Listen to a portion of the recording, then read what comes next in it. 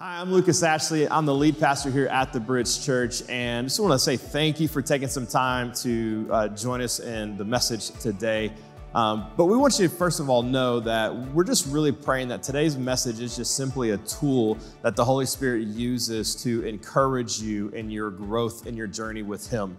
Um, but really, what we're hoping is that it's a tool that is used in partnership with you being plugged into a local church community whether that's here with us in Bradenton or wherever it is that you might be watching from. We love anytime we can be an encouragement to somebody, but we know that that's what we're called to do is be a part of a local community and a local church. Um, but if it is a source of blessing in your life today, we just want to encourage you to do three simple things. First and foremost, thank God for it. Any bit of encouragement or blessing that we can be is simply the Holy Spirit at work in your life today. So make sure you thank God for all that's going on in, in and around your life. Um, but second is feel free to share it. You can share a link to the message or just share it through conversation as you're talking to people about how the Lord is working in and around your life. Um, but then also share with us. We love to hear stories of how the Holy Spirit is working in people's lives in and outside of our community. You can do that real simply by emailing us at amen at bridgechurchfl.com. Um, and then you can also just follow along, whether that's subscribing to our page or following us on social media to see what all the Lord is doing through the ministries here at the Bridge Church. Um, and last but certainly not least, if you'd like to partner with us financially as we continue to partner with the Lord in bringing hope to those in our community and globally, you can do so by giving through our website. It's bridgechurchfl.com slash give. We're praying for you today and hope today's message is a source of blessing and encouragement for you. Well, it's good to be with you uh, this morning. My name is Mark, if we've not yet met, and uh, I'm the legacy uh, pastor here at the Bridge Church. Just want to say hi to, to uh, Ann, who's watching from New York. Want to say hi to Phyllis from Ohio. Want to, as well, Tim Muldoon, Bill Mitrovich, uh, Debbie Behealer. Good to see all you guys as well joining us online. And for all of you that are here, um, just out of curiosity, how many of you, it's your first time here? Just curious. You can put your hand up if it's your first time. Okay, that's cool. That's cool. And so, you know, one of the things that I think uh, most people struggle with, question, we kind of grow up with this question in our minds of what is my purpose in life? Right? Like, what is, what is God's plan for my life? Like, that, those are the big questions. And, and a lot of times we, we don't know exactly how to find out. And, and we've been talking about discovering your purpose. And Pastor Lucas did such a great job of laying the foundation for all that we're going to talk about. Great stuff. I've heard from many of you just going, man, this has been so eye opening. And what we're going to do is, uh, over the next two weeks, we're going to take all of that, we're going to filter it down, and we're going to give you the answer of how do you discover your purpose? How do you connect to that? How do you connect to uh, God's plan for your life? And so this week and next week, we're going to be talking about the critical step and a critical move that makes that happen. And it's something called spiritual gifts. Spiritual gifts, for those of you that aren't familiar with it, or maybe that's a new term for you, don't let it freak you out, okay? We're not talking about anything weird. What we're talking about is this. When we talk about spiritual gifts, when a person comes to a place in their life where they place their faith in Jesus Christ, where you go, I believe you died on the cross for my sin. I believe that, that you want to forgive me my sin, that you're inviting me into a relationship with you.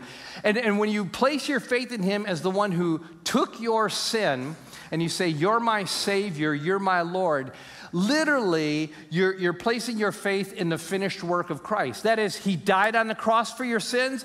He was raised again from the dead, and now he wants to impart into you his life. Literally comes into your life by the power of the Holy Spirit. When he does that, he, he gives you a spiritual gift, at least one. And so, what is a spiritual gift? A spiritual gift can be defined very simply in this way that it's a unique ability that God gives you to build community and to point people to Him. That's really what a spiritual gift is. God gives you a spiritual gift, and, and if you pull back the lens of, of uh, biblical history and our history as, as mankind, very early on, when we turned our backs on God, records about this in Genesis chapter 3, several things were lost. Community relationship was lost, and a, and a communal connection with God was lost. Jesus came to reverse all that. That's why when he gives you a spiritual gift, what he's doing is he's literally restoring what was lost. That's why this is so important, because this fits into God's great plan of what he wants to do in your life. For many of us, we struggle with a sense of how is it that I, can, I never feel like I have a clear sense of my purpose in life? Why is it that I feel like I, I, I don't know what God's plan is for my life? And I want you to kind of understand this from a perspective that is given to us uh, by Peter. So, Peter was the one who, if you guys know the story, he actually betrayed Jesus. And not only did he betray Jesus, Jesus said, You're going to betray me. And then Jesus, when he was raised from the dead, reinstated Peter. And so, so let me just say this right up front. For some of you, when we talk about these things, some of you have already disqualified yourself.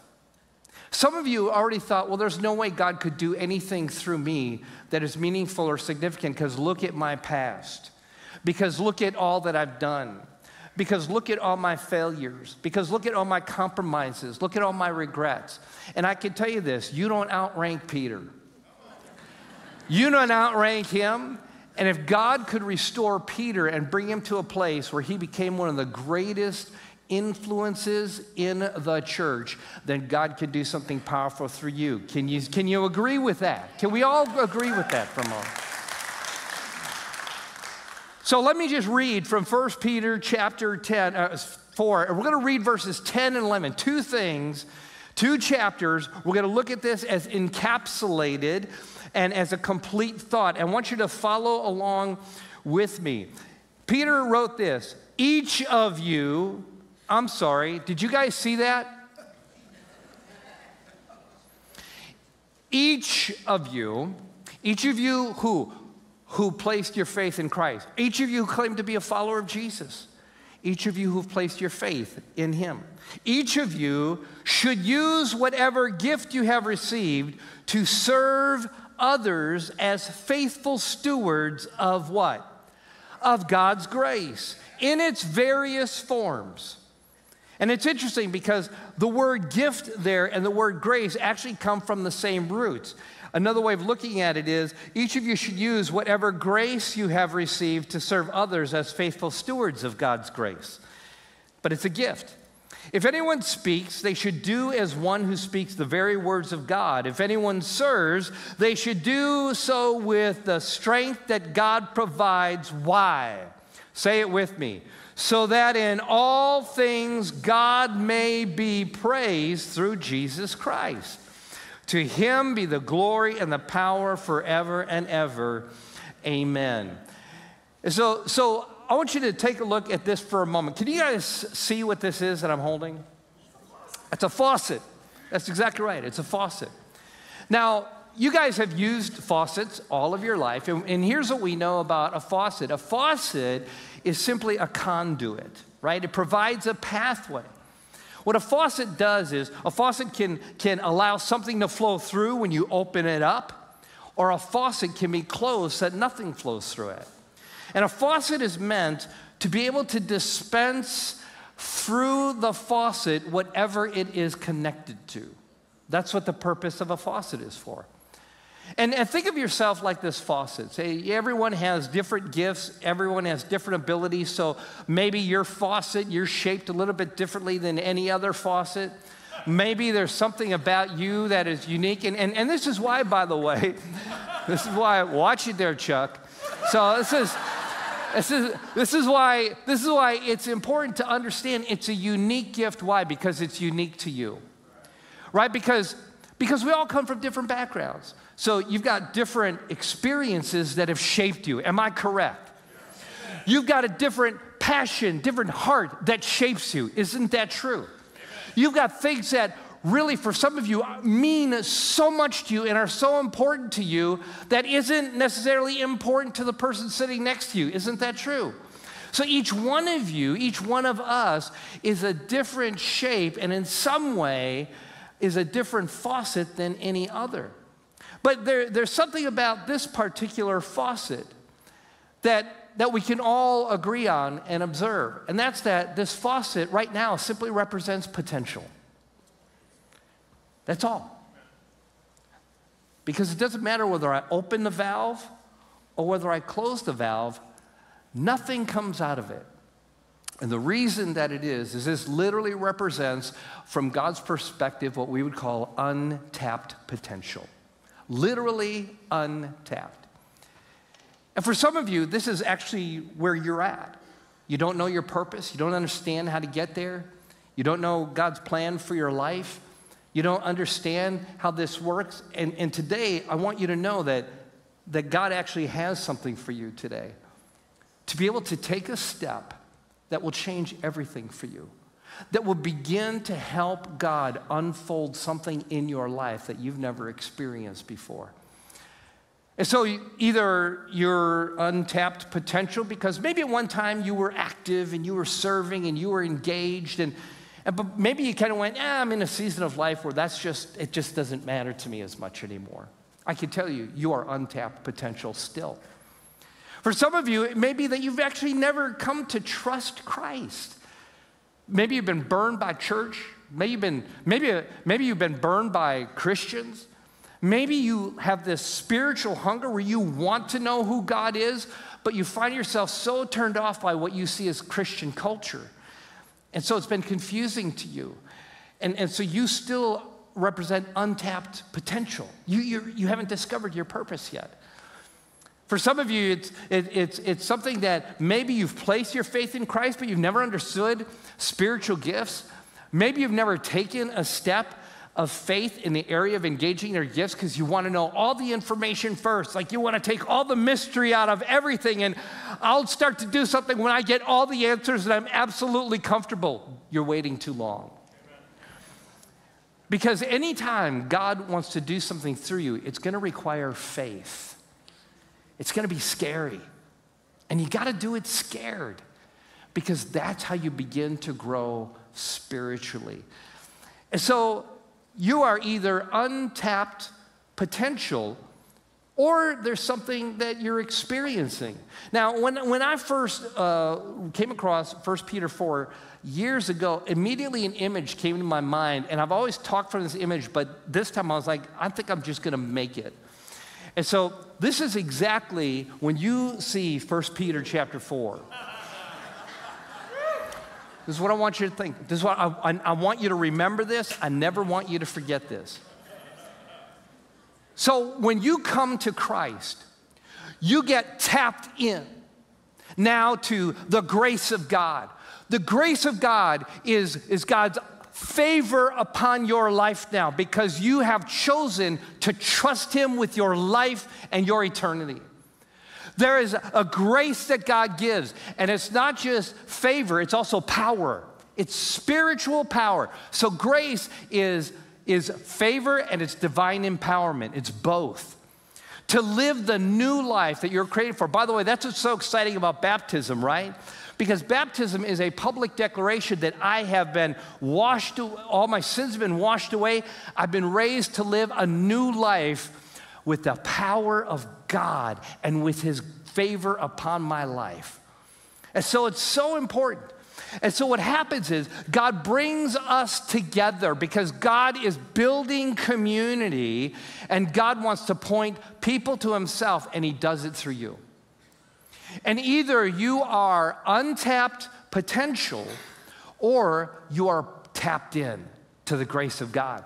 And what happens is when you place your faith in Christ, the fullness of God comes into your life.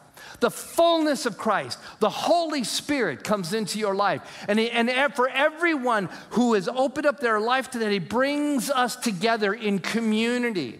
But I can't do community by myself, and you can't do community by yourself. We need each other, and there's something that you bring that is unique to you, that is different than the way it's gonna come through me. The grace of God is to flow through you. The desire of God is to flow through you. And your experiences in life have shaped you And so when God's grace lives in you and you have experienced God bringing you healing from past trauma, now there is a grace that can flow through you where you can lead people to healing in a way that other people can't.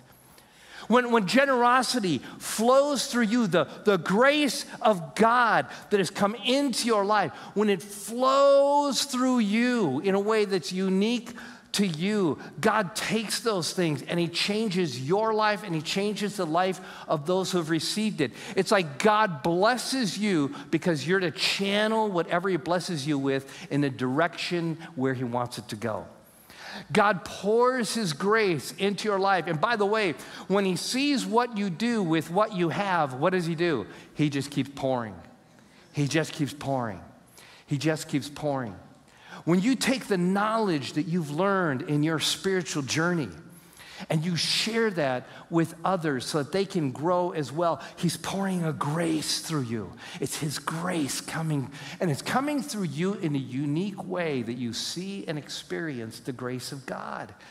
And when a community of people come together, each one of us wide open, wide open to God, totally focused on Him and all that He would want to accomplish, His grace will pour out through you through your spiritual gift.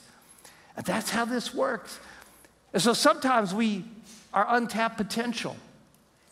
But when you begin to open up your life to everything that God wants to do through you, you will begin to experience things that you've never experienced before. You'll actually experience God in a way that you've never experienced God before. It just goes big. so, so here's some things. We're gonna, we're gonna be talking about spiritual gifts, but there's some things that I want you to keep in mind. And these are more reminders of the things that we've heard over the past few weeks. This is so important. So, when we talk about your spiritual gift, and, and I want you to think in terms of my spiritual gift, because when you became a believer, you received a spiritual gift, because that's what the Spirit does. And so, here's three things that I want you to remember quick, quick points. Number one is this is that my gift connects me to God's purpose. My, matter of fact, say that with me. My gift connects me to God's purpose. Your spiritual gift is actually your connection to the purpose of God. So go back to that, that passage in 1 Peter 4, if you would. Look at how he starts out. He starts out, each of you should use whatever gift you have what? Receive. It's grace, not earned. God didn't look at you and go, man, you are so, so awesome at this. He just goes, No, I'm going to do something that can only be explained by me being in your life. Right? So he's going to he's going to bring his grace in your life. So he says each of you should use whatever gift you've received. Look at how he ends in verse 11. He says so that in all things God may be what? Praise. Now this is important. Pastor Lucas talked about our unifying purpose is to glorify God. For the church, that means that what we're doing is, is we're building community and we're pointing people to Christ. That's what we're doing. Pointing people to Christ is our unifying purpose. And so what happens is, is when you serve God, when you serve others, when you're taking the grace of God that He has poured out into you and you let it flow you let it come through you. You are now living your purpose. Your gift connects you with God's purpose. And by the way, knowing your gift keeps you in this category. Studying gifts doesn't necessarily connect you. What connects you is number one, you're connected to Christ, and number two, you are using your gift that you've opened up the valve in your life as you've tapped into the life that God wants to give you. So that's how you actually discover the life that you were created for was through this. Here's the second thing that I want you to be able to hang on to is, is and say this out loud with me. My gift connects me to God's plan. My gifts connect me to God's plan. This is so important. Have you ever heard the phrase, God has a plan for your life? It's true. He does have a plan for your life. The first part of that plan is to connect you to Himself. That's the first part of it. The next part of that plan is to use your gift so He can connect you to something else. So let's take a look. Ephesians 2, verse 10. It says this say this with me For we are God's masterpiece. He has created us anew in Christ Jesus so we could do the good things that He planned. That's right. He planned it for you long ago. Think about that. God actually has a plan for your life. And it's a plan that only you can uniquely fulfill in a way that nobody else can. God has a plan for your life. God has literally set up in advance, far in advance, even before you were on this planet. He had already set up circumstances where you're going to run into people that, that need to know about Him. He's already set up in advance communities that He wanted to build and the part that you play, what you bring to the table. God has already planned long before you were born, He had a plan for you of the good things that He wanted to do through you. And the only way to engage in God's plan is through using your spiritual gift. Otherwise, you're still just untapped potential. And so, for those of you that have been wondering, what's God's plan for my life? It's come to Jesus as your Savior and Lord, and then begin to serve the true and living God. Begin to allow the grace of God to flow through you into the lives of other people. Begin to let God bring through you what is uniquely going to happen through you that won't happen through anybody else. That's really it in a nutshell. But here's the third thing that I want you to understand is this is that, and say this with me my gifts connect me to God's people. My gifts, your gifts, literally is what connects you to a sense of community. It's hard to feel a sense of community if you're going from this spiritual experience to that spiritual experience, and I'm going to look for it over there, and I'm going to look it over here, and I'm going to go over there, and I'm going to be a consumer, and I'm going to go, oh, that's my favorite preacher, or that's my favorite, or that's my favorite group, or I just want to run. And what happens is when you don't actually get planted somewhere and begin to use your spiritual gifts, you will not feel connected. You will simply be a consumer. But what connects you to people is when you realize, man, we're all working for the same purposes. Man, I'm, I know that what I'm doing is a part of something that is so much bigger than myself. I'm living for more than just me. I'm actually living so God can work through me and move in the lives of other people around me. And so God just wants to pour His grace through you. But until you decide to step into that, and it is scary, for some of you, maybe you, hey man, I did that once before. I got totally burned out. Then don't do it the same way. And here's the deal about spiritual gifts. Spiritual gifts, there's you grow in your maturity.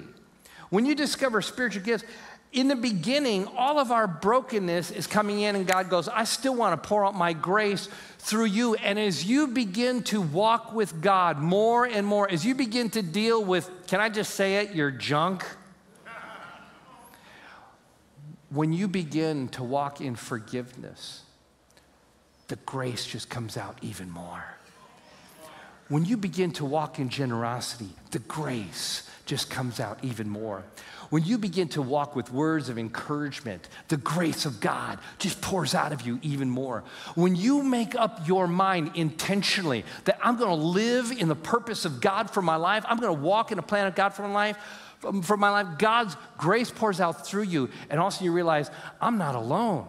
Man, I, I, I, see, I see Tom and I see what he's doing. Man, I see this person over here. I see what they're doing. Oh, man, we're all in this together. We're living our lives on mission, and God just keeps pouring out his grace. And His Spirit keeps moving. Do you know how powerful it is? You guys, when we gather together, you know, we're not going to church. I hope you understand that. When you come here, you're not going to church. If you're a follower of Christ, you are the church. You're like bringing, you're bringing together the sanctuary of God that lives inside of you, and God takes that sanctuary and goes, I'm just gonna pour my spirit out. By the way, that's why some of you, when you first come here, you can't stop weeping and you don't know why. And it's because what you're experiencing is the Spirit of God touching you, washing over your parched soul, and letting you know that He sees you. And so there's something powerful. So, Paul, in, in his letter to the Corinthians, which were people that were not Jewish, and they came to Christ um, later on, he says this in 1 Corinthians 12, verse 7. He said, A spiritual gift is given to each of us so we can what? Help each other. So, we're going to do a crash course on spiritual gifts. Some of you go, You got like three minutes left, man. We're doing this in two parts. Chill out. We'll get as far as we can. Next week, here's what we're going to do we're going to continue on the spiritual gifts. And next week, we're going to talk about how can you know what your spiritual gifts are. Okay? So, uh, here's what the Apostle Paul says 1 Corinthians 12, verse 11. I want you to get this. I want this to soak in you, all right? So, let's read this out loud together. It is the one and only Spirit who distributes these gifts. All these gifts, sorry, you guys said it right, I said it wrong. See, I need you. It's just, I can't do this without community. He alone decides which gift each person should have. Very important. Notice that no matter what our gifts are, eh, they come from God. God will choose which gifts you have. And He'll do it on the basis of what He knows you can handle he will do it on the basis of how you're shaped, what your experiences are. He'll, he'll use your natural abilities and connect you through that. He'll use the way that, that your heart is wired. Some of you are cause driven people. Any cause driven people in here? Right? Some of you are like moment by moment people. When you see something, you like to step in. God knows you. He, matter of fact, nobody knows you better than Jesus. And so you can't go, well, man, that gift, I wish I had that gift. Like, I wish I could sing like the worship team. God has decided that is a bad idea. I could do it, but we'd have to lock these doors if we're going to do it. There's some things I'm no good at. And like as we walk through the gifts, you'll see different ones. But the, but the thing you got to realize is this notice that all of these faucets are on the same level. Nobody outranks anybody else. I don't care what the position is, I don't care what the gift is, right? Every single person that knows Jesus Christ matters. Every single one. Nobody is any greater than any other. God has brought us together, and He's decided what gifts you bring to the table to help make us that strong community and be a part of what it is that God wants to do. And so, whenever we talk about these gifts, there is a spirit led expression of it. But because we're maturing, a lot of times when we start out, we're not even emotionally mature to understand what God is doing through us. Right? And you'll see that. And as we look at different gifts, you'll realize, oh, that was an unhealthy expression, and this is a healthy expression of it. So, we're going to jump in, and then we're going to jump out. But I want you to do this. I just want you to keep your heart open. All right? So let's talk about spiritual gifts. One, the number one gift I want to talk about is mercy. Mercy. What is mercy? Mercy is, if you have the gift of mercy, and after I read it, if this is you, I want you to just raise your hand, okay? God's love in you causes you to empathize with people's struggles, and you are moved to bring comfort. How many of you have a gift of mercy? Okay? All right? So mercy, mercy has in a less mature expression and then a mature expression. There's one that comes from our own brokenness, right? And that can be called codependency. Codependency is I don't feel good about me if I'm not fixing somebody. So I, and here's how you know if you're codependent. If you look at all the people around you, you feel like they suck you dry. Like I'm just, these people are wearing me out. I'm going broke fixing everybody's problems, man. When do I get time for myself? Okay, codependency. Codependency is you surround yourself with needy people because it makes you feel good to help needy people because you're not as needy as they are, you don't think. Mercy has that expression, but when it becomes led by the Spirit, mercy grows in this sense. Mercy goes, you know what? Uh, helping people has a timing to it. There's a way that I can express mercy, but I'm not sure this is the moment for that to happen because I want to make sure I'm letting God have room to do whatever He wants to do through their struggle. But we need merciful people. By the way, you mercy people, here's what I can tell uh, it's not necessarily, you may not even be an emotional person. But man, you will kick down the doors of a crack house and pull somebody out. And you don't care what anybody thinks.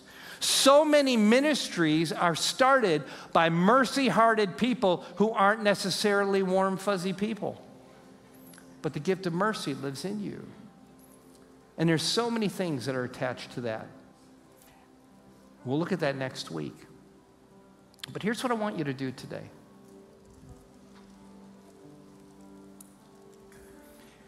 For some of you, this is where you are.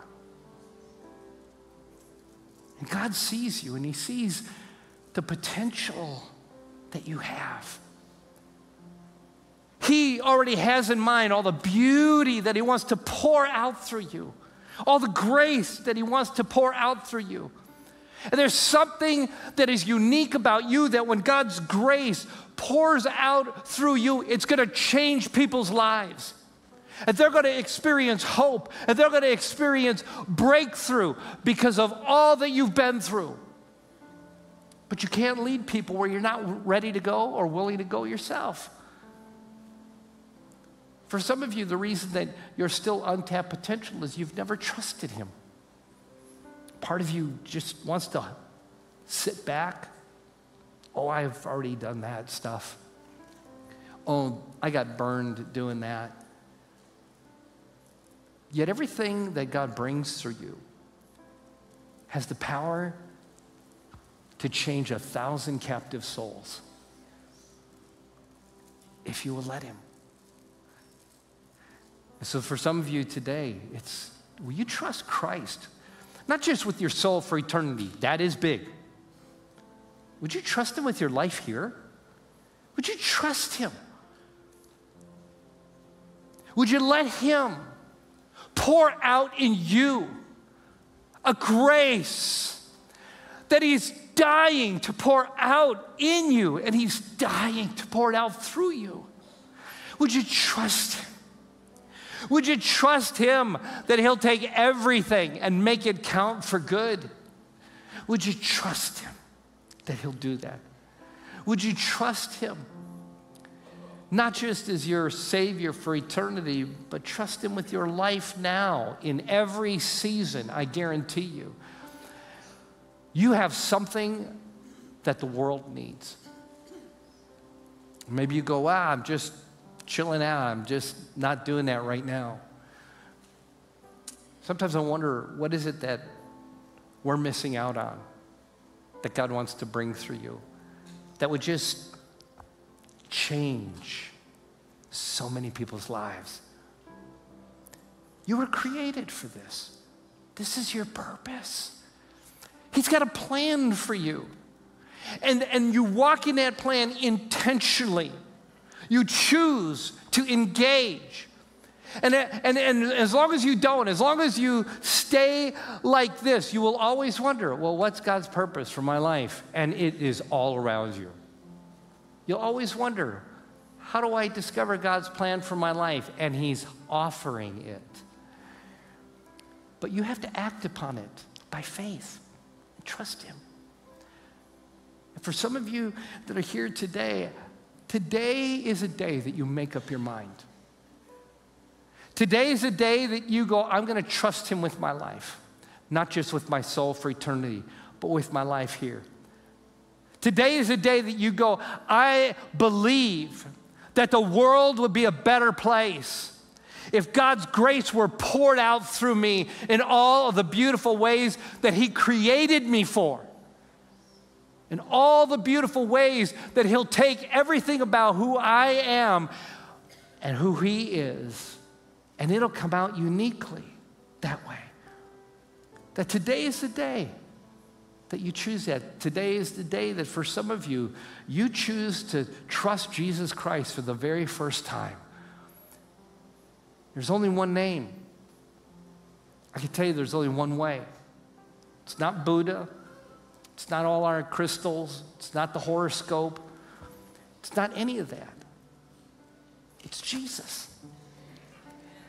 And if you place your faith in Him and you place your faith and trust in Him alone, God will pour out His grace into your life. He will give you what you've been thirsting for all along. He will fill you with His Spirit, and He's then going to pour out through you in ways that you can't even begin to imagine. So I'm going to ask you guys right now close your eyes. And if you've never placed your trust in Christ with your life as Savior and Lord, then this is the day that you begin a new journey where you step over the line of faith and you tell God, I'm trusting you with my life. I trust you as my Savior. I turn away from all the sin that has controlled me, all the things that break my relationships down. And I ask you to come into my life and fill me. And right where you are, you could just tell him, Lord, that's me. That's me, God. That's me. He hears it. He hears it. Or for those of you that are not tapped in, not in a meaningful way, today, would you be willing to not write out the script and have so much control over your life that you're missing out on God's purpose for you? That you're missing out on God's plan for you? Would you, would you stop filling in the blank with so many things that you think disqualify you? And would you trust God that He knows what He's doing when He placed His hand upon your life and called you to Himself? Would you just trust Him? Would you trust Him that if He could take someone like Peter, who betrayed Jesus, who denied Jesus, and that God raised him up to be one of the greatest leaders, would you trust that God could do that through you? Would you trust that your disqualifications don't exceed God's power and his desires for you? Then where you are, you could tell him, Lord, that's me. And Lord, I trust you today. I trust you. I trust you, Lord. Thank you. Thank you. For those of you that are watching online, same for you. Lord Jesus, we thank you so much for your grace. Lord, for those that today are trusting you with their lives for all eternity and for life here, God, pour out your spirit on them, God. Pour it out on them in a way that they know it's you, God. For the person who's felt disqualified today, pour out your spirit on them in a way that they know it's you. God, created in each one of us a hunger and a desire to never settle for anything less than living out the purpose for which we are created, to live out the plan that you already had in place for us to walk in. We thank you, Lord, for that. And we praise you. Thank you, Lord. And so, guys, we're going to take a moment here. And if there's something that you feel like God's doing in you, and maybe you feel like I just need, I need to do something, uh, whatever that is, you can you can stand where you are. We're going to create space up here, but what we're going to do is we're actually going to worship. But don't just sing, please. Declare instead. Declare what you want. Let God hear the cry of your heart. Sometimes you just got to tell your own soul, I'm tired of settling for less. I'm tired of settling for church, for religion. I'm tired of it. God, I want you in my life. And so when we worship, worship, declare, call on God, and let Him do in you everything that He wants to do, and you respond to Him however God leads you. So I'm going to ask you to stand to your feet if you would. Open up your heart. Open up your heart. Open up your heart. Let God move. Thank you, Lord. Move in our midst. Thank you, Lord. In Jesus' name.